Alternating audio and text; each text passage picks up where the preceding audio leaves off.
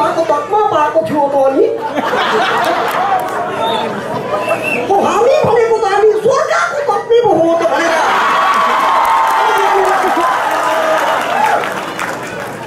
हौ म त अनि हाना अलिकति प्रेसर पनि छ कि बाबु? हौ त्यही पनि अब अनौठो ठाउँमा भनि पठायो नि त नानीले कि। हौ नहाँसौँ न हौ। बाबुहरूलाई अलिकति म सम्झाउनु पर्यो कि।